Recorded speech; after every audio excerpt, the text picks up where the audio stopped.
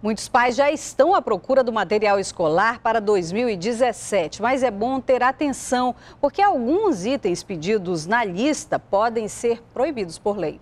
Aqui nesta livraria, o movimento de clientes neste mês já é maior do que novembro do ano passado. Ano após ano, eles se antecipam mais. Por exemplo, eles já estão começando a vir com, comprar cestas, materialista completa, é, Ano passado foi isso começou a ocorrer em dezembro. Esse ano já está começando agora, dia 15 de novembro, já está começando a aumentar. Todos os anos eu venho assim no mês de outubro, novembro, né, fazer a pesquisa e se der para comprar eu já compro logo, antecipo as compras para não chegar com aquele preço tão alto que vem a partir de janeiro. Na corrida para comprar o material escolar é bom os pais terem atenção. É que segundo a Lei Federal 12.886 do ano de 2013, as escolas não podem pedir aos pais materiais de uso coletivo dos estudantes ou até mesmo da própria instituição. Mas em muitos casos esta lei é ignorada e tem escola que pede até bastão de cola quente na lista escolar. Escola de ensino infantil solicita muito material que não vai ser utilizado exclusivamente pelo aluno. Né? Ou seja, se o material não é utilizado é, de forma única pelo aluno, esse material é considerado de uso coletivo e é proibido pela lei federal. Outros materiais também não podem constar na lista, como pincéis e canetas para quadro branco, fita adesiva, TNT, balão, taxa de reprografia, copo descartável, envelopes, material de higiene, material de limpeza, também nada de CDs, DVDs e nem qualquer tipo de material administrativo. Doris já passou por uma situação dessa e questionou a lista escolar. Tipo papel higiênico, copo descartável, absurdo também a quantidade. Eu cheguei na escola e falei que eu achava um absurdo aquilo ali e elas simplesmente, não, tudo bem, não precisa. E por isso ficou, né? Eu não comprei e eles lá aceitaram. Olha, as escolas que infringirem a lei serão multadas. A sanção é pecuniária e a multa vai até 3 milhões, de acordo com o Código de Defesa do Consumidor. E em caso de irregularidades, você pode denunciar ao PROCON pelo número 0800 092 0111. Os materiais que podem fazer parte da lista são aqueles de uso exclusivo do seu filho ou filha Alunos da Universidade do Estado do Amazonas já ocupam o prédio da UEA pelo quinto dia aqui na capital. Eles pedem melhorias no ensino universitário em Manaus e também no interior. Mais de 40 alunos ocupam este prédio dos cursos de Artes e Turismo, na Leonardo Malché, centro da cidade. Aqui os estudantes dormem em colchões e recebem doações de alimentos dos professores da universidade. Tem dormido, tem se adaptado com, com colchões emprestados, alguns trouxeram de casa.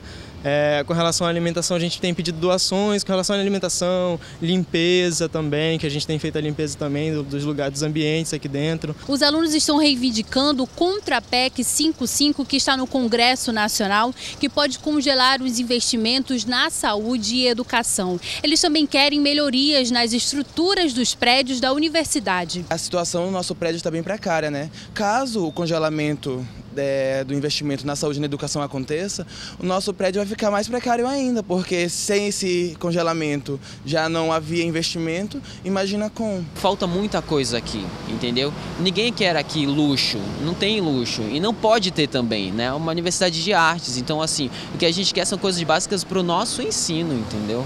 E para nossas pesquisas também. A ocupação acontece também na Escola Normal Superior da UEA, na Darcy Vargas, mas apesar disso, as aulas seguem normalmente nestas unidades. Nos próximos dias, o reitor da universidade deve ir nesses locais para conversar com os alunos. A faculdade em Parintins, que estava tomada pelos estudantes desde a última sexta-feira, foi desocupada hoje. E a gente segue falando de educação. Você sabia que não existe cota para pessoas com deficiência nas universidades federais, estaduais de ensino? Veja na reportagem de Juscelio Paiva. Isabel está no último ano do ensino médio. Ela já sonha com a faculdade. O meu sonho é estudar pedagogia e cuidar de crianças com essa especificidade. Hoje, com 19 anos, ela conta que desde criança enfrentou dificuldades no ensino. Ela sofre de transtorno do déficit de atenção e de distúrbio específico de linguagem, que é a dificuldade em desenvolver a fala. Eu sempre tive dificuldade de saber como estudar de ver Todo mundo avançando na minha frente e eu ficando para trás. A mãe dela vem lutando para tentar ver a filha ingressar em uma universidade pública. As dificuldades surgem desde a escola, porque as escolas, na verdade, não estão preparadas para receber os alunos com qualquer tipo de especificidade. O sonho da Isabel em ser pedagoga por uma universidade pública ainda é difícil, porque a reserva de vagas para pessoa com deficiência não é obrigatória nos vestibulares. Até hoje, não existe uma lei federal que reserve esse tipo de vaga. Para as cotas raciais, já existe uma lei que regulamenta a reserva de vagas para negros, pardos e indígenas de instituições federais e estaduais de ensino. Mas a cota ainda não alcança a pessoa com deficiência. Mas isso pode mudar, pelo menos na Universidade do Estado do Amazonas. É que tramita na Assembleia Legislativa do Estado um projeto de lei que garante a cota de 5% a candidatos com algum tipo de deficiência. Hoje a concorrência é direta. O projeto, de autoria deste deputado, foi aprovado por unanimidade, mas o governo fez algumas alterações e mandou o projeto de volta para a Assembleia. Isso vai beneficiar um grande contingente de amazonenses, de jovens amazonenses e até de alguns não tão jovens que têm o sonho de fazer a sua faculdade. Se for aprovado nos próximos dias pelo Legislativo, a cota já vai valer para o vestibular do ano que vem. Uma vez ele aprovado no processo seletivo, ele tem que entregar as documentações, inclusive as documentações médicas, onde é, é, define qual a sua deficiência. Na contramão da lei federal, o Instituto Federal de Educação, Ciência e Tecnologia do Amazonas já reserva cota de 5% nos processos seletivos para cursos técnicos. Por enquanto, a cota não atinge o nível superior. Hoje é o Dia Mundial de Combate ao Diabetes, doença considerada pelos médicos como um mal silencioso. Aqui no Brasil, milhões de brasileiros sofrem desse mal. Em Manaus, são mais de 74 mil diabéticos. Todos os dias, a rotina é a mesma. Um furinho no dedo e basta um pingo de sangue para saber o resultado da glicemia. Edelyn descobriu que tinha diabetes com 23 anos. A desconfiança veio depois que ela começou a perder peso sem motivo. Na época, a notícia foi um tremendo susto. Os valores padrões são de 70 a 100 né, miligrama por decilitro, é um padrão. O meu estava 789. E aí eu cheguei na médica, ela já ficou assustada, já falou: olha, você tem que tomar insulina. E já foi o diagnóstico assim logo de cara. Isso, a gente toma um susto danado, a gente chora muito, que mãe chora por tudo, né? Mas assim, é como se a gente fosse no fundo do poço. Epa, aconteceu alguma coisa errada. Mas a partir daí, elas buscaram força para enfrentar a doença. Hoje, a alimentação de Evelyn segue à risca as recomendações médicas. Uma das regras é não exagerar no carboidrato. No caso dela, é preciso também usar a insulina. Todos esses cuidados fazem ainda mais sentido aliados à musculação.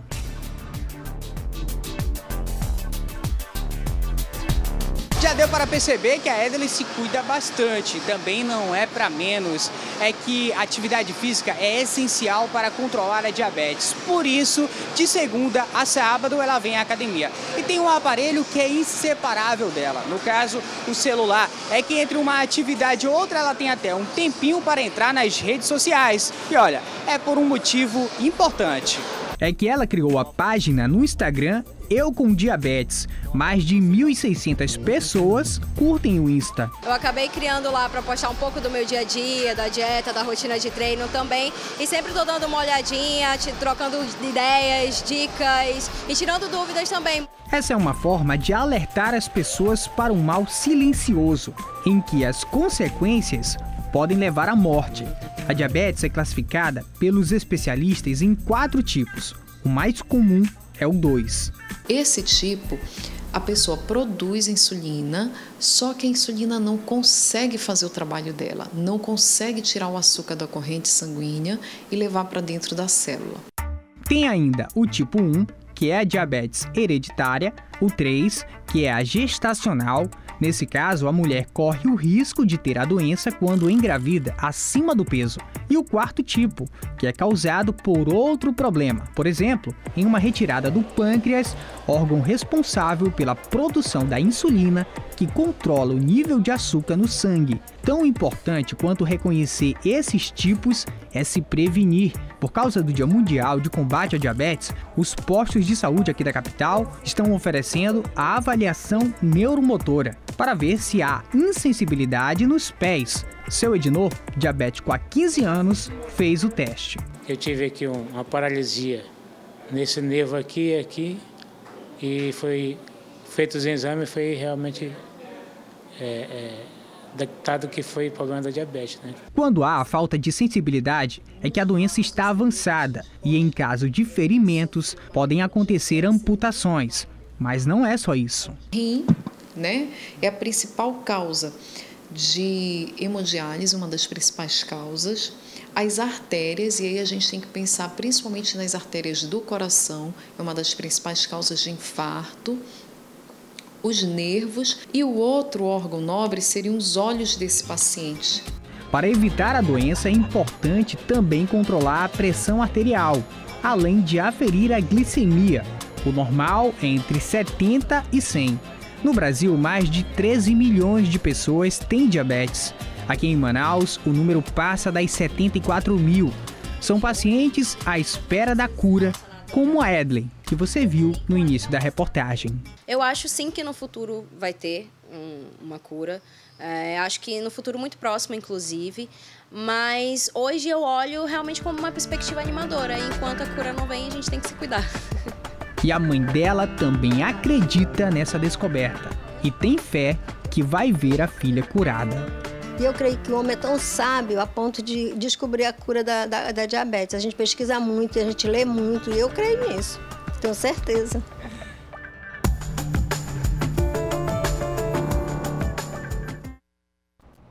Jornal em Tempo volta amanhã, 18 e 20. Até lá.